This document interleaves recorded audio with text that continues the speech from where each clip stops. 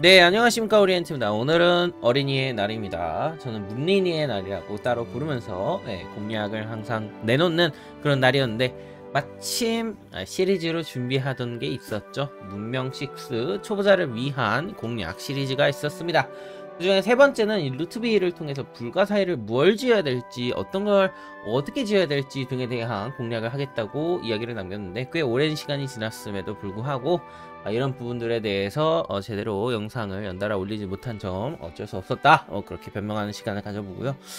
불가사의 문명 6에서 굉장히 중요한 요소입니다. 특히 불가사의라고 하면은 어, 좋은 불가사의가 있고 나쁜 불가사의가 있겠죠 예를 들어서 대욕장 같은 불가사의는 평가가 일반적으로 안 좋고요. 이에 비해서 아르테미스 신전 같은 경우는 평가가 좋습니다. 여러가지 이유가 있습니다만 가장 중요한 건 역시 유저가 쉽게 지을 수 있는지 없는지에 대한 이야기예요. 그래서 제가 예전에 이걸랑 관련을 해서 불가사의 티어 정리 영상을 하며 하나하나씩 성능을 짚어보는 그런 시간을 가져봤는데 지금 패치로 인해서 AI들이 그 불가사의 선호도가 굉장히 많이 바뀌었어요. 예를 들어서 범람원이 있었으면 무조건 대욕장을 지었던 과거랑 달리 요새는 대욕장을 그렇게 막 신경 쓰지 않고 아, 짓지 않는 모습을 보여주기도 하고요. 그래서 아르테미스를 빠르게 짓는 경우도 있습니다. 네, 목장이나 야영지 같은 경우에 쾌적도를 제공하는 아르테미스 신전이 어, 추가의 고정 식량과 퀘스트를 제공하기 때문에 빠르게 수도를 성장시키는 게 굉장히 도움이 되는 그런 불가사의인데 유저 입장에서는 AI들이 잘 짓지도 않을 뿐더러 성능도 좋아서 어 일단 짓고 본다는 마인드로 가면은 아, 먹을 수 있는 그런 아주 좋은 사기 불가사의다 라는 평가가 있었어요. 하지만 지금은 그렇지 않습니다. 네, 그 부분에 대한 거는 제가 불가사이들을 하나하나 짚어보면서 이야기를 해드릴 겁니다. 네, 불가사의와 관련된 이야기를 하기 전에 루트비에 대해서 잠깐 이야기를 해볼게요. 제가 왜 이 문명으로 아, 왜 초보자 공략, 특히 불가사의와 관련된 공략을 찍었는지에 대해서 이야기를 할 건데요. 아, 일단 특성이 불가사의에서 추가의 문화와 관계는 없기 때문에 이 문명 같은 경우, 즉 독일의 특수 지도자인 루트비 같은 경우는 불가사의를 지으면 지을수록 게임에 엄청나게 유리한 보너스를 받는 특성이 있습니다. 어, 뭐, 람세스라든가, 이 문명이라든가, 또는 그리스나 아니면은 특히 러시아 같이 문화지구 인접 보너스를 중요시 여겨야 되는 몇몇 문명들의 경우, 불가사의 의존도가 상당히 크다고 볼 수 있는데, 루트비는 직접적으로 불가사에서 관광을 얻고요. 문화를 추가로 얻기 때문에 불가사의를 지으면 지을수록 강력해지는, 게다가 불가사의를 다 짓지 않고 부지만 만들어도 강력해지는 그런 특성이 있기 때문에, 불가사의에 조금 더 많이 신경을 써야 되는 어, 그런 지도자라고 할 수 있겠죠. 그런데 그것만 아, 있으면 안 되겠죠. 불가사의를 지을 때 추가의 보너스가 없으면은 결국 아, 불가사의 남들에게 다 뺏기게 되겠죠. 그런데 독일 같은 경우는 기본적으로 한자 특수지구가 있어서 중세시대부터 강력한 생산력을 많이 제공해주는 상업단지 인접 보너스를 아, 거의 공짜로 만들 수 있는 그런 고유 특수지구가 있기 때문에 이 특수지구를 지으면서 생산력을 굉장히 많이 키울 수 있다. 그래서 불가사의를 더 많이 지을 수 있다. 뭐 그렇게 생각하시면 될 것 같아요. 특히 아, 여기에 있는 제국제도시 특성도 아, 불가사의를 지을 때 굉장히 많이 도움이 되는데 불가사의 같은 경우는 지금 문명6에서는 타일을 잡아먹습니다. 뿐만 아니라 아, 건설 조건이 좀 까다로운 편이 많아요. 뭐 특정한 특수지구를 요구하는 경우도 많습니다. 그런데 일반적인 문명보다 특수지구를 더 많이 지을 수 있는 다양한 특수지구를 더 많이 확보할 수 있는 독일의 경우에는 그런 불가사의 건설 제약 조건을 어느 정도 상쇄시켜주는 역할을 갖고 있습니다. 그래서 불가사의를 짓기 참 좋은 문명이다 라고 생각할 수 있을 것 같아요. 한자의 경우는 고유한 상업, 아, 산업 단지를 대체하는 특수 지구이기 때문에 더 빠르게 지을 수 있는데 위대한 기술자 점수를 더 빠르게 얻을 수 있다는 뜻과 다름이 없습니다. 위대한 기술자 점수는 나중에 불가사의를 건설할 때 필요한 위대한 기술자를 얻기에 굉장히 편한 아, 그런 조건을 가져다 준다. 그래서 불가사의를 짓기가 더 편하다. 뭐 그렇게 얘기를 할 수 있을 것 같아요. 자, 그럼 불가사의를 지을 때 어떤 거를 고려를 해야 되느냐? 어, 두 가지를 고려해야 됩니다. 건설 조건과 건설 능력입니다. 일단 기본적으로 건설 조건하고 건설 능력은 이 불가사의의 툴팁을 확인하면 알 수 있습니다. 보시면 아시겠지만 대육장에 오른쪽 클릭을 하면은 예, 이렇게 백과사전이 나오죠. 요거는 카이사르 편 때 제가 백과사전 어떻게 여는지 다 알려드렸기 때문에 굳이 더 설명 안 할 건데 밑에 보면은 기술이 나옵니다. 아, 도예 그리고 배치가 나옵니다. 아, 범람원 그리고 생산 비용이 나옵니다. 그렇죠? 그리고 성능은 여기에 나옵니다. 이런 식으로 불가사의가 어떻게 해야지 지어질 수 있는지와 이렇게 지었을 때 보상을 이렇게 볼 수 있습니다. 불가사의는요 많으면 많을수록 기본적으로 좋아요 왜 그러냐면 불가사의 자체가 관광을 제공합니다. 여기에는 적혀져 있지 않은데 아마 백과사전에 불가사의라고 건- 검색하면 나올 것 같습니다. 모든 불가사의는 도심부에서 세 타일 이내의 위치에 건설을 해야 된다. 무슨 얘기냐면은 도시를 폈을 때 여기가 도시라고 치면은 하나 둘세 개 있죠. 딱 이 라인. 이 라인까지만 여러분이 인구를 배치하거나 특수지구를 짓거나 할 수 있는데 마찬가지로 유효한 조건인 아, 불가사의를 지을 때도 아, 이렇게 세 칸의 범주에서 벗어나게 되면은 건설을 못한다. 그럼 다른 도시로 가, 야 되는 거야. 이 세 칸을 벗어나면은. 그리고 도시의 불가사의를 완료한 즉시 해당 도시의 국경이 두 타일 확장됩니다. 아 그래? 두 타일이야? 나 한 타일만 주는 줄 알았는데 두 타일을 준다 그러네요. 이거는 경험상 한 타일인 것 같던데. 과사전이 잘못된 거 아닐까? 네, 이거는 봐야지 알 것 같아요. 아무튼 중요한 거는 이렇게 타일을 제공한다는 점입니다. 이게 되게 중요한 게 불가사의는 원래 한 타일을 잡아먹잖아요. 그죠? 그러니까 한 타일을 버리는 거나 다름이 없어요. 완료를 하면은 영토가 한 칸이 공짜로 주어지기 때문에 그 보상이 상당히 큰 편이라고 보시면 될 것 같아요. 약간 치킨 게임 같은 거야. 음, yes or no, all of nothing 이런 느낌이에요. 불가사의를 지으면은 모든 것을 가져가지만 불가사의를 지는데 실패하면은 손해가 너무 막심해지는 거죠. 그래서 불가사의를 지을 때는 기본적으로 이런 규칙을 따라요. 첫 번째, 전 세계에서 한 문명만이 건설할 수 있다. 그리고 한 번 건설되면은 다시 지어지지 않는다. 즉, 도시를 부숴서 그 불가사의를 영원히 없애버린다고 해서 내가 지을 수 있는 게 아니에요. 고유한 딱 하나의 object라고 생각하면 될 것 같아요. 그래서 경쟁이 됩니다. 누군가가 불가사의를 짓고 있을 때 내가 먼저 그 불가사의를 지어버리면은 상대방은 그 불가사의를 짓고 있는 부지가 터져버려요. 그리고 일정 부분 생산력을 payback을 받긴 하지만 엄청나게 큰 손해를 보게 되는 겁니다. 그래서 불가사의를 지을 때는 남들보다 더 빨리 지을 수 있도록 최대한 신속하게 그리고 생산력이 굉장히 많은 상태에서 지을 필요가 있습니다. 불가사의를 짓는다는 건 결국은 내가 그 불가사의를 짓는 턴 동안은 아무것도 하지 않는다는 것과 동일한 의미예요. 예를 들어서 대욕장을 짓는데 8턴이 걸린다고 칩시다. 이 대욕장이 지어지기 전에 그 8턴 동안은 대욕장을 짓고 있는 도시는 메모를 하는 거예요. 비용을 그냥 갖다 버리는 겁니다. 뭐 근데 그거는 특수지구나 건물이나 유닛이나 다 마찬가지죠. 그죠? 왜 불가사의만 특별하냐? 불가사의는 터졌을 때 그것을 감당할 수 없는 결과로 받아들일 수밖에 없기 때문입니다. 두 가지가 있어요. 일단 첫 번째 정신적인 충격. 아, 그 불가사의 지으면은 딱 나오는 그 아름다운 장면과 아름다운 산출과 그죠? 나중에 이제 문화력이라든가 관광이라든가 여러 가지를 주는데 그걸 놓쳐버렸다라고 하는 일종의 아, 가차 뽑았을 때 실패하는 그 느낌이라고 하는 상실감이 크고요. 두 번째는 그렇게 대욕장이라든가 아니면 특정한 불가사의를 지을 때 아, 내가 그 전략적으로 입는 손해 그러니까 앞으로의 미래를 생각을 해봤을 때 아 그 불가사의 생산력 부을 바에 어? 어차피 짓지도 못하는 거. 유닛이나 뽑아서 상대방 불가사의를 뺏을 준비를 할 걸.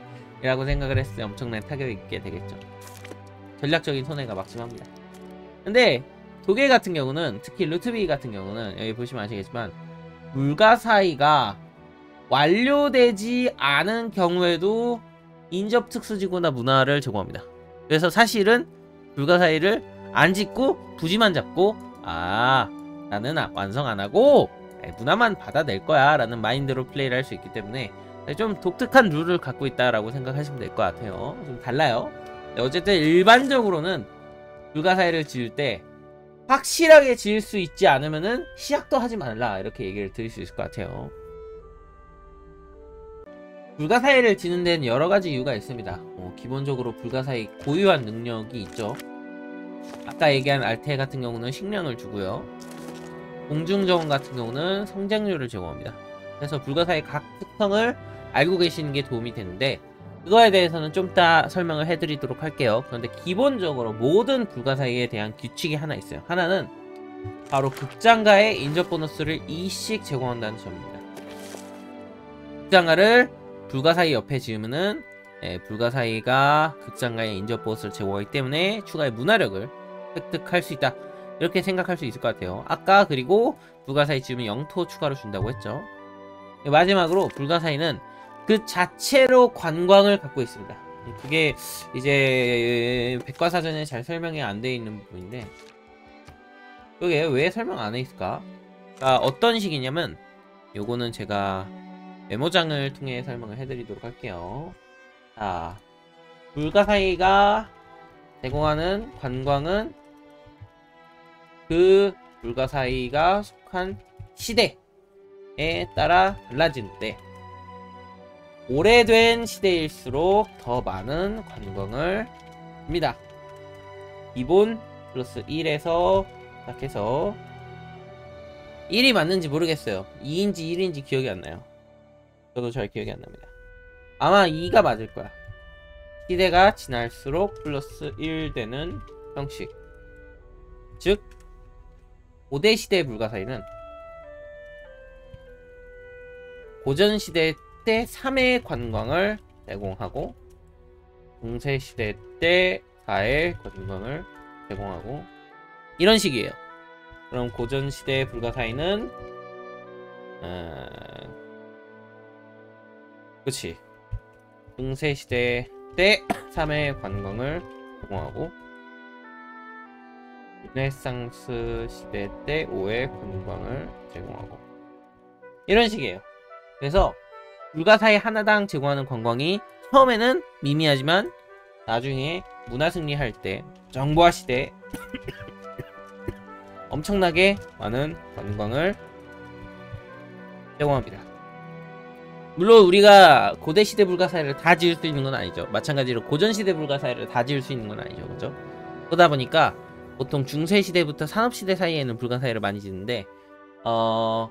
그런 아이들도 유의미한 관광을 제공합니다. 후반부에 불가사의가 생각보다 관광에 영향을 끼치는 게 많이 줘요. 그래서 문화 승리를 할 때 일반적으로 도움이라고 볼 수 있을 것 같아요. 문화 승리할 때는 특히 불가사의가 많으면 많을수록 예, 이득을 주는 거라고 보시면 될 것 같아요. 극장가 인접 보너스를 높여주기 때문에 반대로 얘기하면은 AI가 불가사의를 많이 못 지었을 경우에 상대방의 문화가 떨어지겠죠.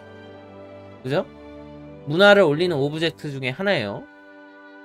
그러면 문화 승리는 일반적으로 문화가 높으면은 방어가 되는 형식이에요. 상대방의 문화 승리를 높이기 위, 에, 늦추기 위해서 내 문화를 올리는 겁니다.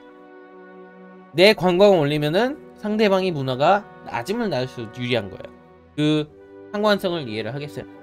그러니까 내가 불가사의를 많이 지어 나는 관광이 높아지는데 상대방은 극장과 인접 보너스를 높이기 쉬운 수단인 불가사의를 못 찍게 되는 거니까 문화 승리가 그만큼 쉬워지겠죠.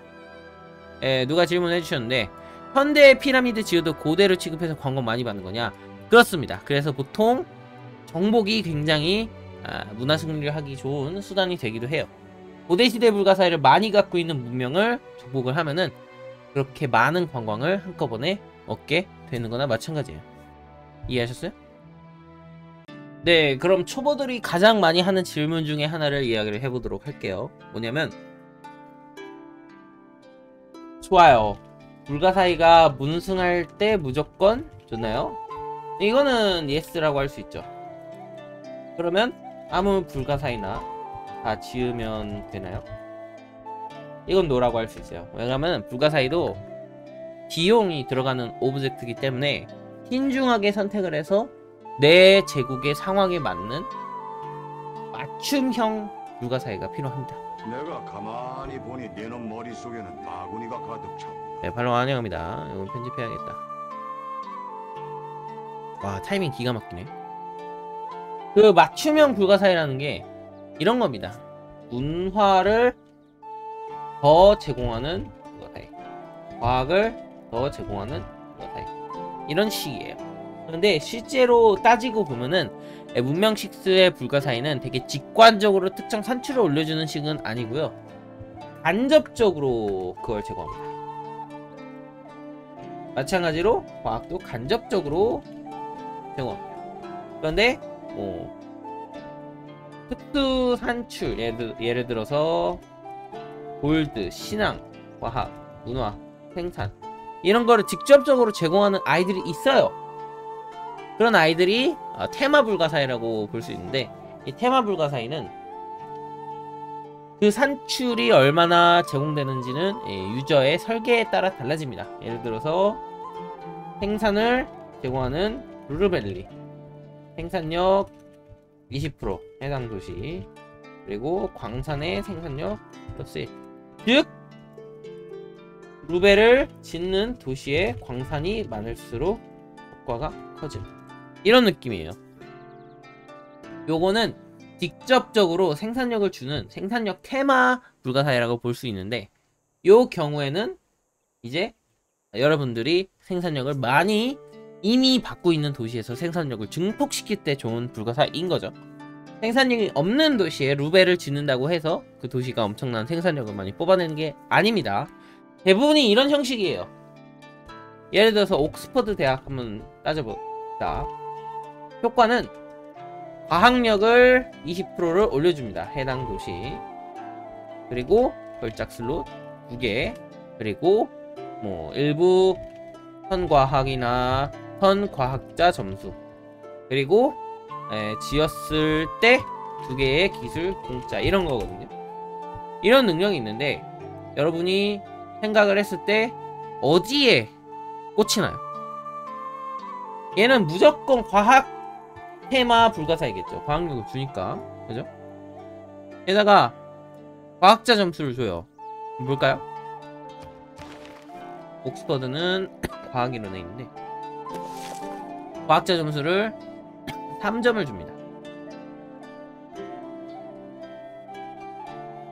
그러면 과학을 올리기 위해서 옥스퍼드를 지을까요? 저는 아니라고 말할 수 있어요.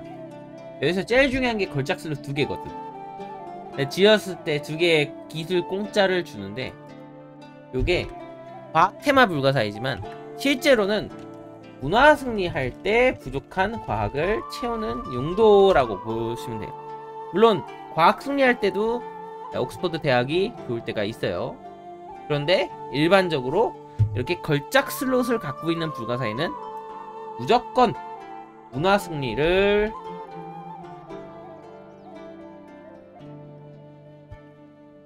도우는 불가사의라고 보시면 됩니다. 그래서 아 내가 과학 승리할 거니까 과학 테마 불가사의를 지으면 되겠구나 이렇게 생각할 수 있지만 아닙니다. 이건 좀 달라요. 그래서 각각의 불가사의가 어느 용도로 쓰이는지 별도로 알 필요가 있어요. 그거 어떻게 알아요? 경험으로 아는 겁니다. 그거를 제가 지금부터 알려드리도록 하겠습니다.